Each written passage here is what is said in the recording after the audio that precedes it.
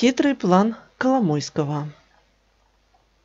Украина сегодня. Многие знают о ссоре в прямом эфире Игоря Коломойского и Савика Шустера, но мало кто обратил внимание на неизвестной широкой публике фамилии, которыми бросался Игорь Коломойский.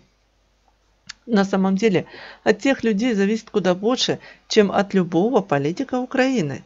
О причинах войны Коломойского против очень серьезной в мировой геополитике публики в материале Пикинформ.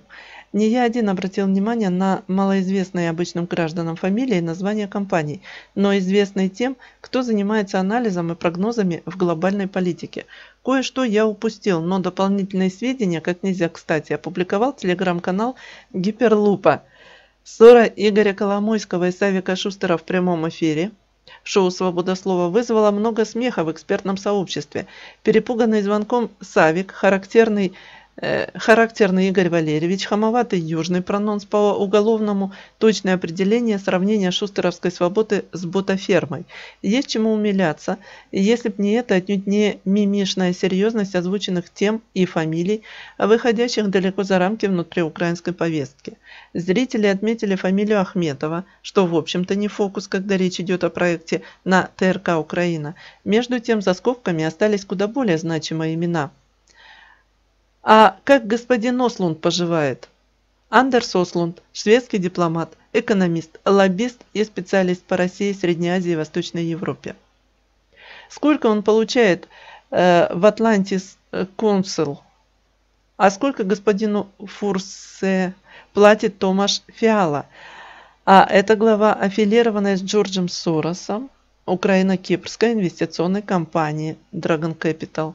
Ранее Игорем Валерьевичем в не менее жестком ключе упоминался присутствовавший в зале экс-сотрудник аффилированной с ЦРУ консалтинговой корпорации Александр Данилюк, который относится к проамериканской группе Разумкова. Упоминание в контексте украинской коррупции столь громких имен – это вам не угроза перенести вопрос о национализации Приватбанка из хозяйственной плоскости в уголовную. Это конфронтация с силами куда более могущественными, чем украинское государство со всеми его силовыми ведомствами. К слову, Виктор Янукович проиграл именно Ослундам Данилюкам. Последний, напомню, 13-14 годах возглавлял организацию «Спильно справа», что похитила и вывезла в Лондон земельный кадастр и базу данных Минюста.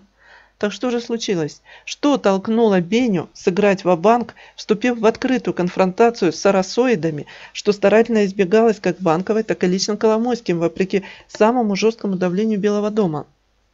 Конфликт в рядах слуг между условными космополитами Разумков Арахамия Данилюк и группой Бини.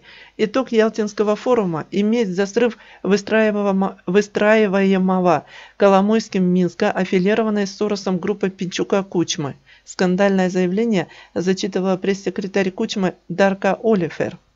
Возбуждение в Конгрессе США вопроса об импичменте вокруг украинского вопроса, частный интерес Игоря Валерьевича в связи с делом Приватбанка, а быть может успех на выборах в Израиле Бенни Ганса, чью кампанию якобы финансировал украинский тезка израильской политической сверхновой? Очевидно одно – Публичная ссора Коломойского с сарасоидами накануне визита в США президента Владимира Зеленского и встречи с американским коллегой, очевидно, повышают шансы Трампа на доступ к украинскому досье Коломойского по Байдену и буризме – Коломойский показал, что он готов играть на стороне Трампа и прекрасно знает, против кого играет. Личная неприязнь Дональда Трампа, которого в нулевые кинул Беня на несколько миллионов, вероятно, сможет подождать. Вряд ли им вместе детей крестить. Да и у Коломойского не так много вариантов. В РФ он очень токсичная фигура. С ним никто не хочет иметь дело, а президент России называл его проходимцем. Но в украинском кризисе два глобальных объекта – Россия и США. А значит, можно пробовать договариваться с США. И речь не о том, на какую из двух сторон будет Беня работать. В той драме, что разворачивается на всей планете, трамповские США и путинская Россия являются ситуативными союзниками как минимум.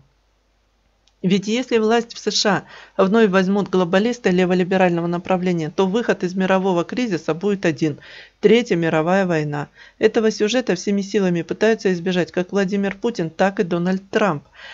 И так уж случилось, что на неизвестной никому Украине находится та самая Кощеева смерть Демократической партии США.